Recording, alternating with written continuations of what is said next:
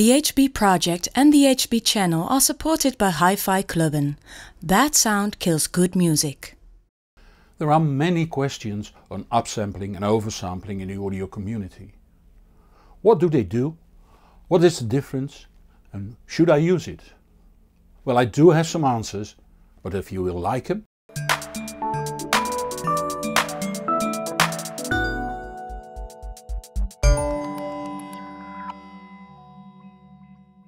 Let me start with the difference between upsampling and oversampling. The name and the place it is used. Sort of. When in the late 70s of the previous century the CD and the CD player were developed, Sony wanted 16-bit resolution but Philips found 14 bits su sufficient since no one was able to produce 16-bit DA converters.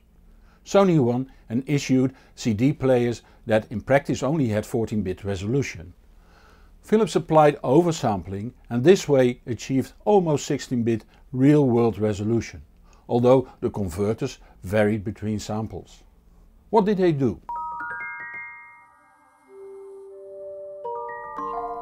Well, a digital audio signal is no more than a large number of measurements of the amplitude of the signal.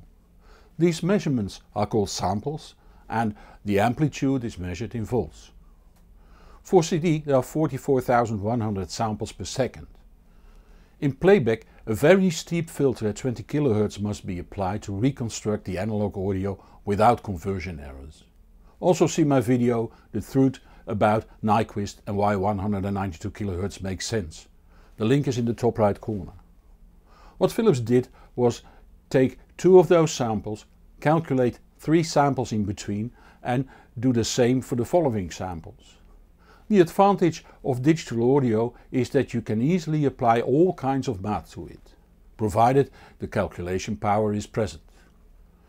Philips called this four times oversampling and claimed rightly so that it gave higher resolution and lower distortion. This and the swing arm mechanism made the Philips CD players immensely popular. The only kind of DA converters at that time were the so-called ladder converters. A 16-bit ladder converter has 16 switches with a resistor in front of it. If all switches are on, the output voltage is 2 volts. If all switches are off, the output voltage obviously is 0 volts. If only the top switch is on, the output voltage is 1 volt, the second switch provides half a volt, the third one a quarter of a volt and so on. People that are familiar with binary counting see what the plan behind this is since binary counting works identical. In other words, the most significant bit switches the top switch, the second significant bit the second switch, and so on.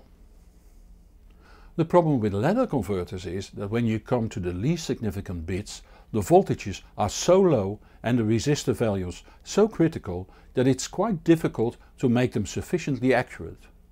The 16-bit has to feed about 30 microvolts.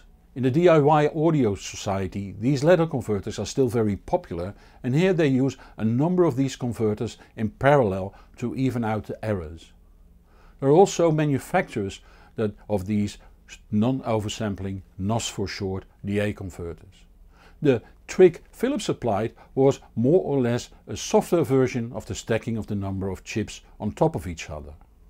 But instead of placing them on top of each other, they were placed after each other.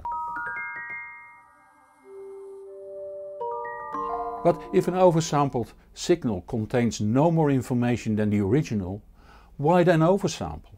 Well, as said, to a certain degree it can increase the resolution of the DA converter by replacing the amplitude accuracy by time accuracy. But there are limits to that too. Then remains another advantage, although some see it as a disadvantage. By oversampling, the filtering is moved from the analog domain to the digital domain. The signal is oversampled in the digital domain and according to many, digital filters do their work with less audible artifacts than analog filters.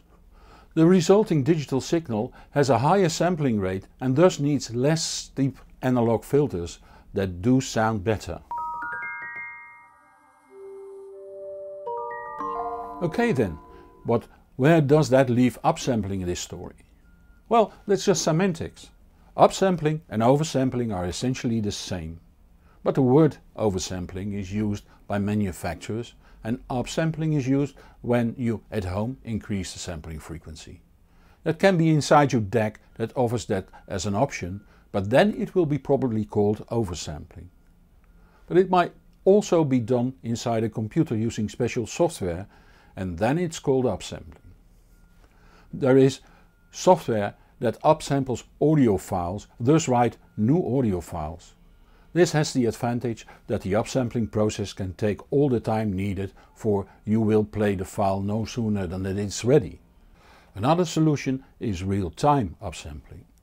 The computational power of modern computers is more than sufficient to do this real time, provided the software used is clever enough to decouple varying calculation latency from the output signal.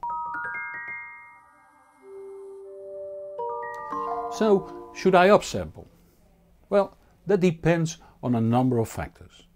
Some people don't like upsampling and go for NOS DACs. But if you don't belong to this group, upsampling or oversampling might be good options.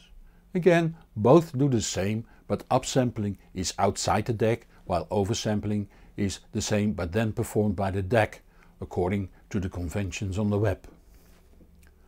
The question now is what is better, having the DAC do it or the software in your computer?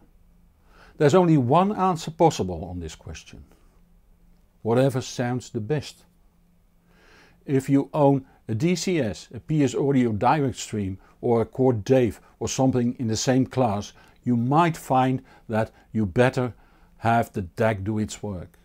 But if you own a 2 year old 150 euro DAC, I am almost certain that you better have your computer do the upsampling. The problem is that there can be many settings in upsampling software and that a set of good ears and some technical awareness come in handy in setting the best way of upsampling. Also do realize that one DAC will perform better with one setting while the other DAC might require another setting. Filter settings are highly bespoke. Upsampling might result in a better sound or it might not. It is a complex matter and if you don't want to study a lot and search the forums, try the default settings of the software you use. If that sounds better, use it. If don't, don't use it or visit forums, study manuals and other sources and make it your hobby. Whatever you do, there is one thing you shouldn't do. Ask me for help. I just lack the time to study filter settings in detail, let alone help you find the best setting for you. I will keep looking for ready to use solutions and report those to you. So subscribe to this channel, follow my Facebook or Google Plus page or my Twitter account. You can also post questions there but please don't ask me for buying advice. View my questions video to find out why, the link is in the top right corner. You'll find more information below this video in YouTube. If you like this video Please give it a thumbs up and tell your friends on the web about it. I'm Hans Beekhuyzen, thank you for watching and see you in the next show or on the hbproject.com. And whatever you do, enjoy the music.